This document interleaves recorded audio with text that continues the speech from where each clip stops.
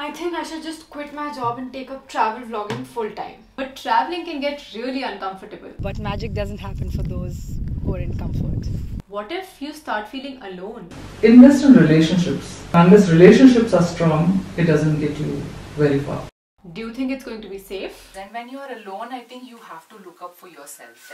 Right. You have to learn to ignore these things. There's hmm. no other go around it. Yes, you have to ignore things at times and definitely look out for yourself because if you won't, who will? Hi, this is Usha and welcome to a Women's Day special video. If you're new here on my channel, I make experience-based travel videos and also some personal experiences of transitioning from a chartered accountancy job to doing YouTube full time. And जैसे कि आपने पहले sequence में देखा होगा ये decision लेना बिल्कुल भी आसान नहीं था I had so many thoughts what how will people react my parents boss society friends everyone Am I good enough? Is it going to be safe? Am I going to be able to sustain myself? But one thought that kept dominating was is it still worth giving a shot? And so at that time, I chose the possibility of happiness over certainty and took the leap of faith, left my job to travel full time.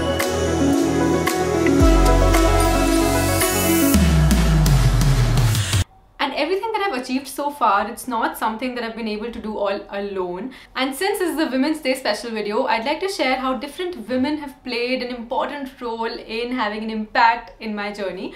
Beginning with my own mother, who has always been so supportive of me taking this decision right from the beginning, even though she did not completely understand this industry.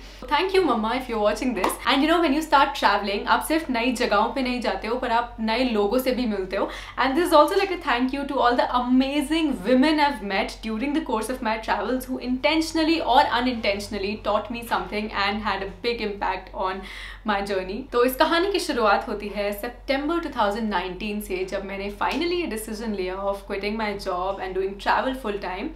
November 2019 was a pretty good month. A lot of traveling was happening and my channel also got monetized at that time. And then skipping to February 2020, um, that was a time when the growth wasn't that much and I wasn't even doing very good mentally. I happened to be at Rann of Kutch in Gujarat at the moment and all in all situations were a bit uncomfortable around me. But magic doesn't happen to those who stay in comfort. ऐसा मैं नहीं बोल रही हूँ. This was taught to me by someone who was a stranger back then at the salt desert in the middle of nowhere at the time of sunrise. It was so nice meeting you. Lovely meeting you too, darling. And I hope, uh, I hope that you uh, travel to beautiful spaces, not just outside, but actually within. Yeah. The fact that you've had this calling of dropping your life and moving into something which you don't know. No, Yeah.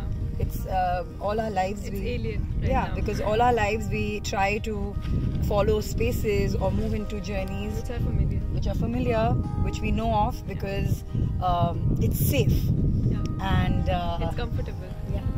But magic doesn't happen for those who are in comfort.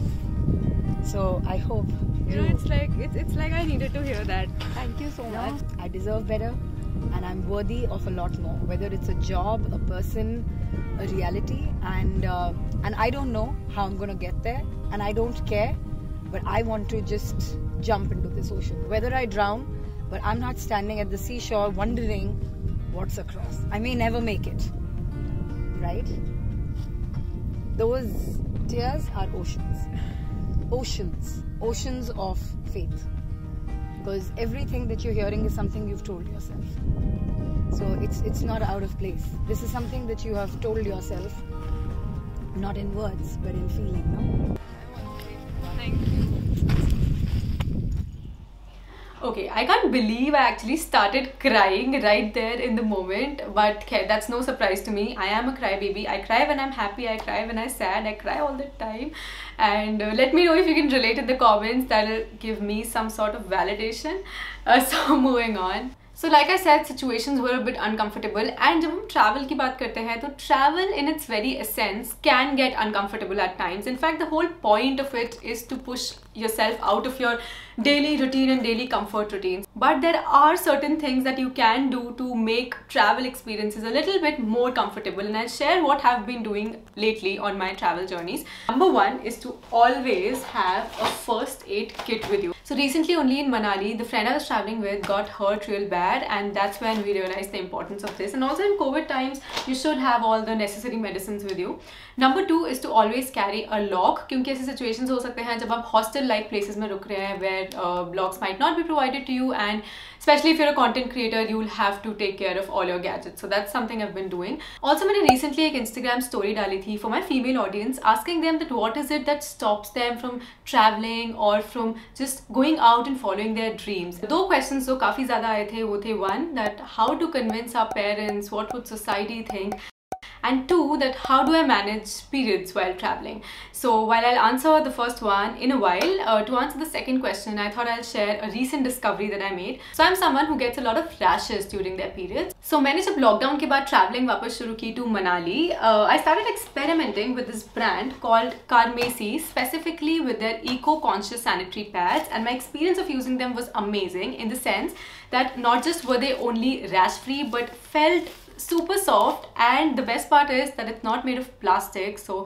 it just feels good that you're contributing to the environment also by using them and the timing was so good क्योंकि उस time चल रहे थे मेरे daily vlogs and रोजाना ही कोई ना कोई trek का plan हो जाता था and I did not want to change the plans just because of this so they were super convenient at that time and if you're also looking for a budget friendly option in the same brand, they also have something called Carmesi Sensitive Sanitary Pads where again the top sheet is not made of plastic and is 100% rash free so you can consider this as well. And one thing that I liked about both these products was how they came in different sizes for different days when you have different intensity of flows. So that was also very convenient. And lately I've heard a lot of travel vloggers and people otherwise shift to menstrual cups from sanitary pads. So I've been wanting to do that since a long time. So I ended up ordering a menstrual cup from the same brand, although I haven't used it yet, but it feels super soft and I am excited to make this transition. So maybe someday later when I've used it, I'll uh, make a review video or a video where I share that experience. And if you're someone who already is super comfortable using tampons, the brand also has that option available with them being 100% organic cotton. So you can consider that as well. Oh, and one good thing that I liked about all these products is how it comes with this uh, biodegradable disposable bag. So this is super handy when you're traveling. You can simply dispose your pads off in this. So if you're a frequent traveler, you can definitely consider buying it. And cherry on the cake is the fact that it's Women's Day. So they have a special Women's Day discount up to 35% off. And if you use my code, which I'll put somewhere here and also in the description, you will get extra 10% off over and above that. So yes, the hike that I did in Manali was super convenient because of this entire rash-free experience.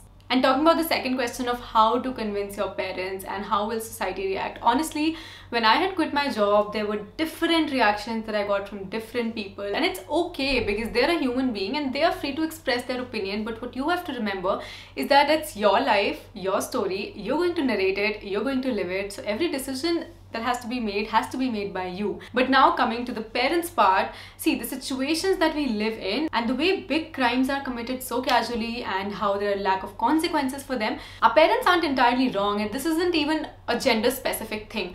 But what you can do is to follow all precautions and to always keep them in loop. Parents love to have every little detail about their child. So whenever you're traveling or even if you're planning a solo travel, tell them, give them all the details. Where is it that you will be staying? How are you going? And with me, it's like uh, they see my Instagram stories and they're all like automatically uh, updated about my whereabouts figure out a way so that they can be updated about everything and tell them that this is where your happiness lies and you want to give it a shot and that you will be following all precautions. For example, you can consider carrying a pepper spray with you at all times and not just carry it in your bag but keep it in your hands at all suspicious situations and learn it learn how to use it before going because otherwise it will not make any sense so have all these precautions in place and tell your parents about it and i'm sure they'll trust you with that first solo trip and you know apart from keeping them in loop also spend time with them and make them understand where your happiness lies and why is it so important for you to take that trip alone.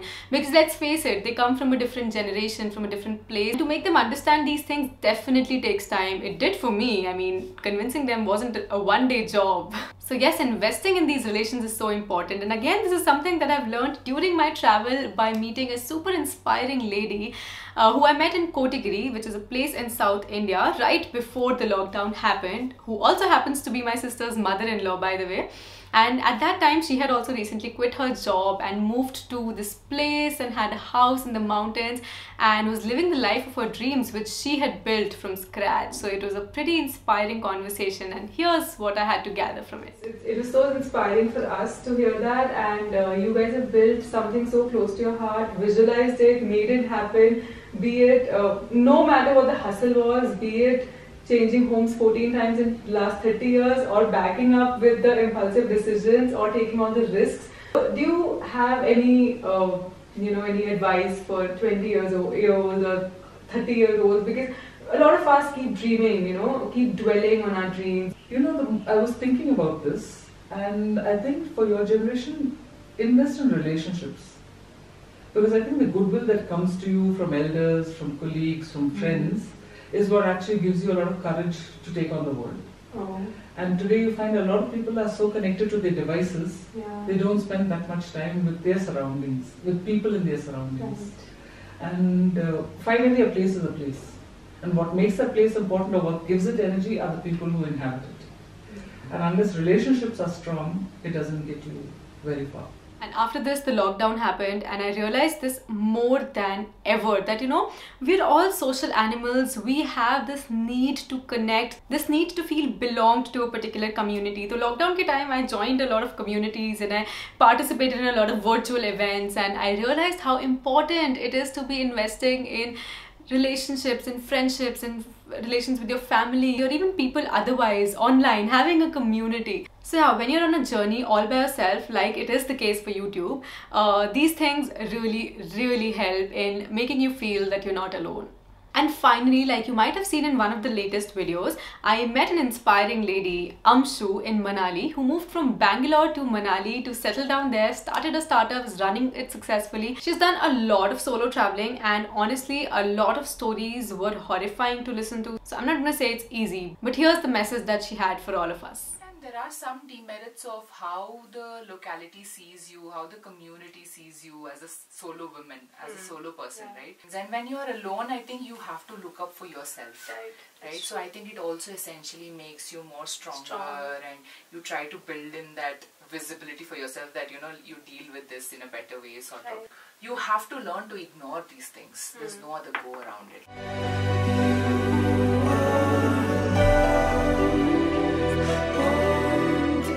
So today, let's celebrate not just being a woman, but the women in the color that we are, in the shape that we are, in the desires and the dreams that our hearts hold, and not believe the limitations that we're often told. This Women's Day, unbox yourself. Allow yourself to be you, and you'll be amazed to see what all you can do. So I hope you like this throwback kind of video and well you don't have to travel the world to meet all these inspiring women. They're all around you in the form of your mother, your sister, your girlfriend, your wife or any other women in your life. So today on Women's Day, share this video with them and tell them thank you for making my life a little better each day. Okay, cut and share. नमस्ते फिर कभी आइए sauver.